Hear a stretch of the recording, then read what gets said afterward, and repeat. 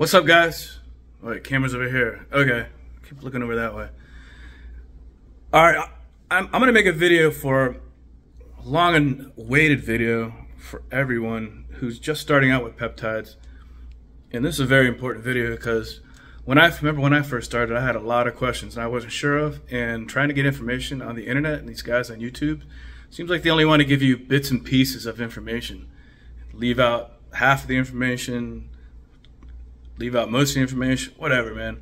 Anyways, my background is I'm a fireman and a paramedic for 24 years now. Okay, so when it comes to drug calculations, drug dosing, that kind of stuff, uh, learned all that in school. So this is uh, really simple for me, and I, I, get it, understand it. I was also a paramedic instructor uh, for college students and all kinds of stuff. So when it comes to teaching, I got a pretty good knack on teaching because I know what I wanted to learn um, and it's always difficult and hard to find. You got to patch a bunch of different stuff together and finally come up with a conclusion.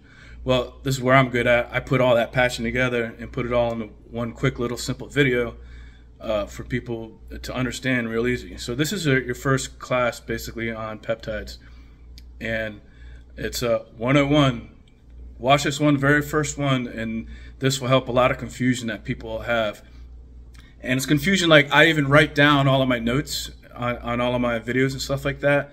I show you all my notes and I print them out, give them to people, and they still are confused. I'm like, what am I doing wrong here? What am I missing? It's it's it's so I'm gonna go over those those kinds of stuff.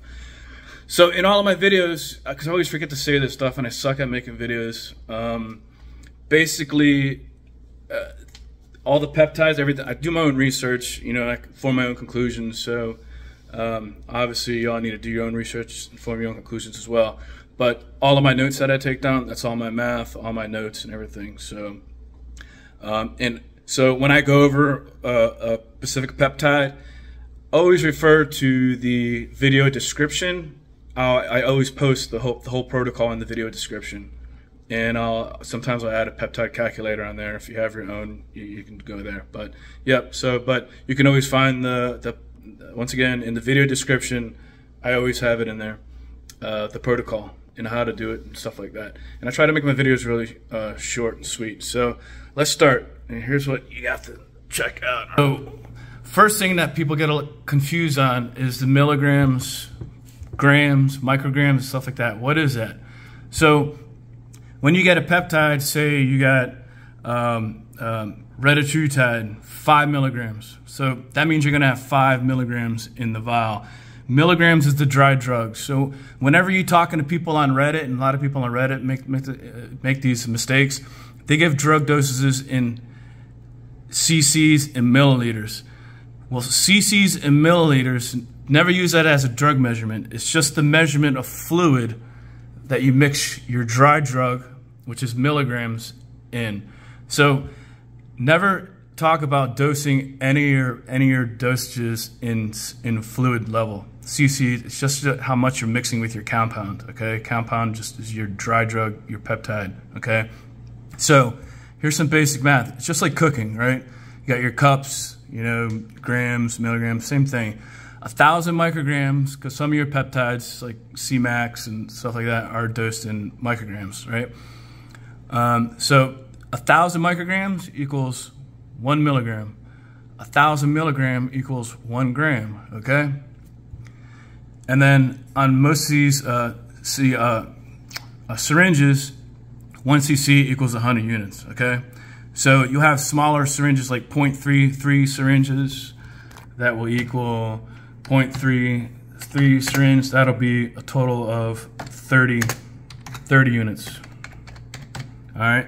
So 30 units on the 1cc syringe is the same 30 units on the 0.33 syringe, even though the syringe is smaller. So just so you guys know, all right? So I'm gonna come over here and show you some of the stuff I have here on the table, all right? Some of the stuff that I got off of Amazon, all right? And the differences between syringes, all right? So these 1cc syringes are awesome. They're individually packed. You got 100 units. BH Supplies, love these. They're 29 gauge. And when you get these, you want to make sure they are U100s. Most of them are U100s, okay? Then I was using these for a little while, 30 gauges.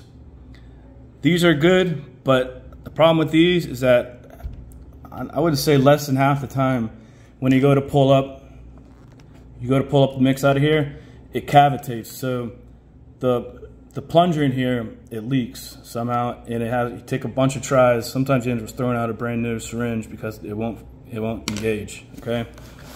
Then I'm trying this one right now, individually packed. I like these um, for pets. These are also 29 gauge needles. So 29 gauge, the same needle size as this. let me show you. So, but what I'm finding when you're doing, when you're researching a bunch of different peptides a day, um, you know, here, I'll show you this. I'll get back to that. All right, so here's my 1cc, right? Pull this off, pull this off. See these here? So this is a 0.33 syringe, right? 100, 0.3, 0.33 right here, 30 units. So 30 on here is the same as 30 over here. Same thing. But you see the needle size? It's the same thing, right? And then you have these one over here that go that don't work half the time. You got that little little baby needle right here, right? Which compare to those. This is a 29 gauge, okay? Get that in there. That's a 29 gauge.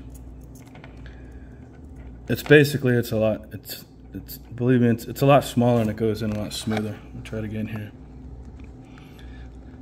So after experimenting with both of these, if I could find, I want to find these in 30 gauge instead of 29, and I think that'll be a little less more painful on the prick.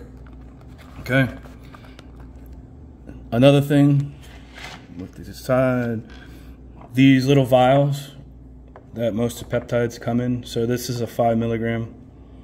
So this is retatrutide, right, from Peptide Nirvana. This is, if it's five milligram Retta, 10 milligram Retta, eh, that, remember, that's just the dry drug inside, okay? These vials are considered 3, 3, 3 cc, 3 cc, 3 cc vials, technically, okay?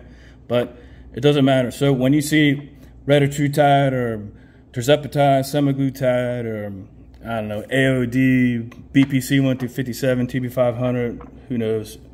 Um, when you see all those with like 5 milligrams or 10 milligrams or 50 milligrams, like GHK-Cu, fifth comes usually 50 milligrams. It's, it's all, it's all, they all come in the same size vial. 3 C, 3 cc vial, 3 cc vial. That's it.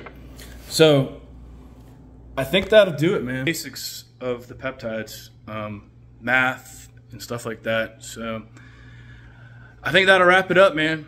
Um, you guys have a good day and hope this video finds you well. Stay cool out there, friends. Talk to you later. Bye.